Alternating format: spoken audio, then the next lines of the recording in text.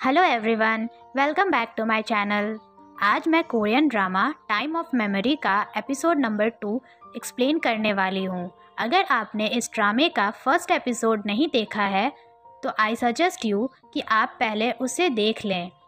उस एपिसोड का लिंक आपको ऊपर आई बटन में मिल जाएगा, ताकि कहानी आपको अच्छे से समझ आए। अगर आपको मेरी एक्सप्लेनेशन पसंद आती है तो प्लीज़ चैनल को सब्सक्राइब कर लीजिए और बेल नोटिफिकेशन ऑन करना मत भूलिएगा। तो चलो शुरू करें।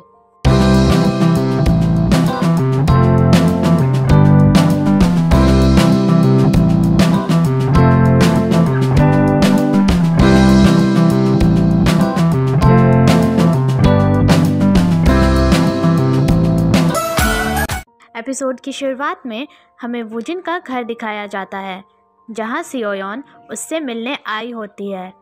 पर वुजिन घर पर नहीं होता तो सियोयन मिस्टर किम को कॉल करती है और पूछती है कि तुम कहाँ हो?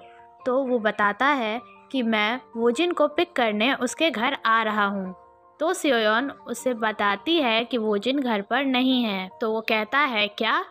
फिर यहाँ सीन शिफ्ट होता है और हमें वुजिन को दिखाया जाता है, जो कि हाइकिंग करने आया होता है। वो भी इतना बन ठन के कि लोग उसे ही घूर रहे होते हैं। वो चलते चलते बहुत थक जाता है और वहीं रुक जाता है। तभी पीछे से कोई उसके कंधे पर टैप करता है। तो वो पीछे मुड़ के देखता है तो वहाँ दो लेडीज़ होती हैं।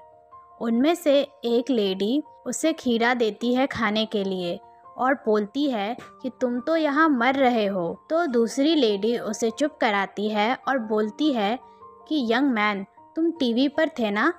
तो रेड टी शर्ट वाली लेडी पूछती है कि, ये क्या है? एक सिंगर? तो पिंक टी शर्ट वाली लेडी उसे बताती है कि, ये एक एक्टर है। तो रेड टी शर्ट वाली बोलती है अच्छा तो इसीलिए ये इतना हैंडसम है। फिर वोजिन उन्हें थैंक यू कहता है तो वो लेडीज़ कहती हैं कि, तुम लगभग पहुँच ही चुके हो।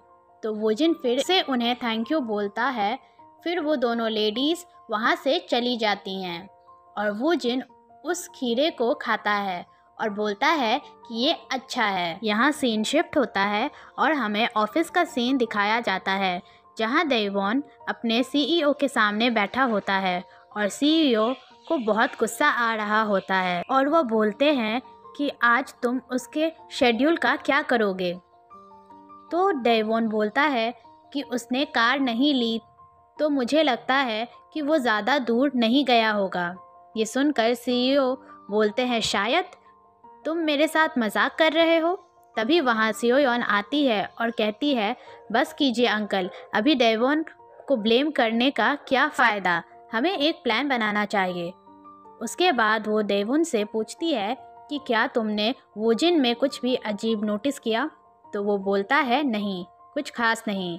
फिर सियोयन खिड़की के पास जाकर उन्नी बोलती है, यहाँ मैं आपको बता दूँ कि कोरिया में बड़ी बहन को उन्नी कहते हैं। उसके बाद सीन शिफ्ट होता है और हम वोजिन को देखते हैं, जो इतना चलने के बाद काफ़ी थक गया होता है। तभी वहाँ एक कपल आता है, जिसमें से लड़का चल चल के थक गया होता है और बोलता है, हमें ये पूरा पहाड़ चढ़ना है।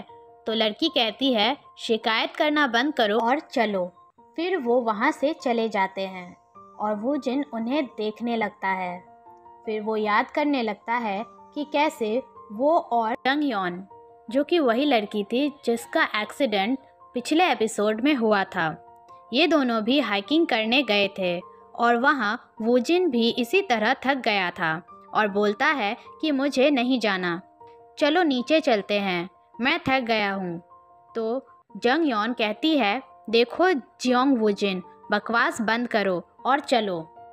तो वुजिन कहता है कि हमें नीचे तो आना ही है ना तो हम क्यों ऊपर जाएँ? तो जंग यौन कहती है कि बच्चों की तरह करना बंद करो और जल्दी चलो। तो वोजिन उससे पूछता है कि तुम्हें पहाड़ क्यों चढ़ना है?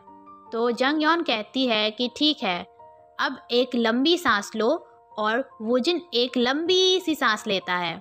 तो जंग यौन पूछती है कि तुम्हें कैसा लग रहा है? तो वो कहता है, गरम। ये गरम है और मुझे गर्मी लग रही है। तुम्हें क्यों ये पहाड़ चढ़ना है? मुझे नहीं जाना, मेरे से नहीं होगा। वोजिन कहता है, तुम मुझे अपनी पीठ पर उठा लो। जंग योंग कहती है, तुम ये कर सकते हो। फिर हम प्रेजेंट टाइम में वापस आते हैं और वो जिन स्माइल करता है। यहाँ सीन शिफ्ट होता है और हम देवुन को देखते हैं। जो वुजिन की फ़ोटोज़ देख रहा होता है और ये फ़ोटोज़ सियोन को भी दिखाता है। तो वो कहती है कि, ओप्पा, चलो। तो वो दोनों उसी जगह के लिए निकलते हैं जहाँ वोजिन गया होता है। फिर सीन शिफ्ट होता है और हम वोजिन को देखते हैं, जो कि पहाड़ के ऊपर पहुँच चुका होता है।